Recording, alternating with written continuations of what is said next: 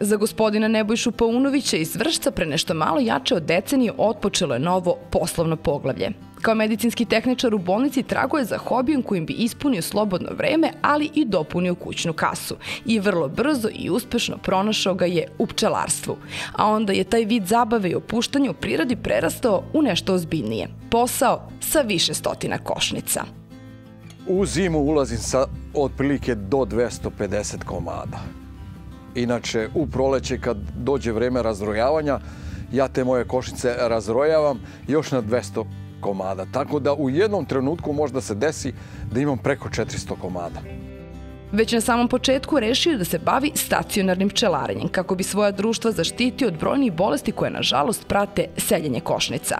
A prostor na kome je naselio svoje pčelinje društvo pokazao se kao pravi, dovoljno daleko od civilizacije, a opet sasvim blizu kada je potrebno da se obiđe pčelinjak i obave neophodni radovi.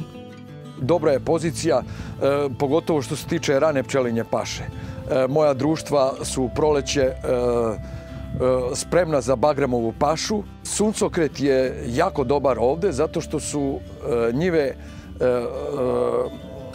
male površine i sejane su u različite periode, tako da duži period cvetanja suncokreta može se neki godina kada godina bude dobra za razmnožavanje biljnih vaši, može se desiti da ovaj se pojavi medna rosa pa da se vrca šumski med.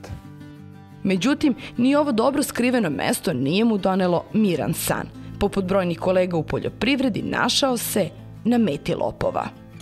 Evo vidite ovde su kamere, imao sam imao sam uh, jednom prilikom krađu. To su bili neki pčelari koji su znali taj posao. Otvarali su svaku i, i izvadili po par, par ramova. Znači, ceo pčelinjak su obišli, izvadili su oko 300 300 ramova saća. Tako da sam bio prinuđen da stavim ove kamere, jer kad sam bio u policiji, oni su mi rekli da nisu dužni da obezbeđuju pčelinjak, nego moram ja sam to da ili ogradim ili da stavim kamere. Ja sam stavio kamere, eto i otkako sam stavio kamere, e, da kažemo, ne, nemam više tih problema. Nažalost, nisu lopovi jedini koji odnose deo medenog kolača. Prema rečima našeg domaćina, ukoliko se nešto krucijalno ne promeni, pčelari će moći da zaborave na rezultate koje su ostvarivali decenijama. Mislim da je e, faktor koji dovodi do toga broj jedan e, klimatsko otopljavanje, jer ja kad sam bio mali e, i dete e, nije postojala ni jedna godina, godina bez snega. Proleće su neka kišovita, hladna, to uopšte nije dobro za pčele. Tako da, eto, klimatski faktor je broj jedan. E, herbicidi i, i prskanje, prskanje e, bilja e, u vreme cvetanja su faktor koji, broj dva koji, koji dovodi do, do, do toga da se umanji prinos, a i pčele jako puno stradaju tada jer su, jer su to uglavnom insekticidi, pod brojem 3 nakon e, toga što poljoprivrednici e, svoj plod unesu sa njiva, oni pale, pale njive i ovaj tretiraju sa totalom. Tako da posle pšenice i uljane repice nema ovih korovskih biljaka, nego ovaj ostaju gole ledine.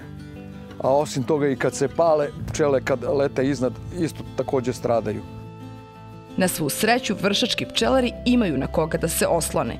Rad lokalnog udruženja pokazao se kao jako koristan.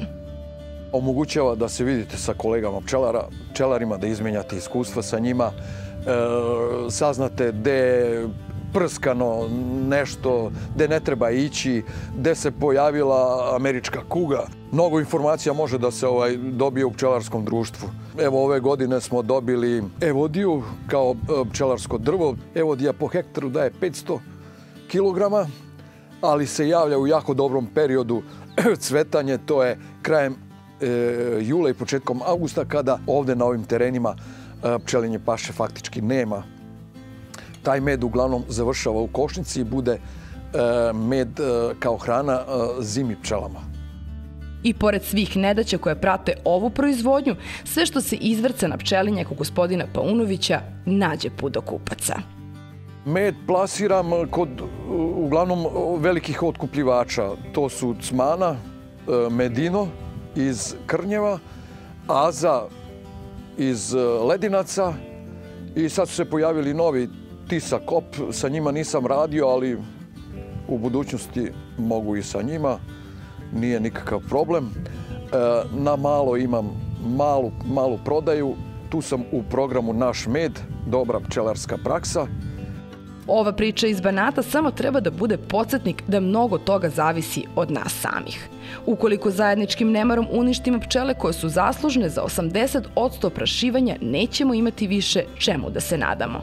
Zato ovaj vršački pčelar za kraj našeg razgovora moli da se osvestimo, a obećava da će oni nastaviti da rade kao i do sada. Najbolje što umeju čuvaju pčelinja društva.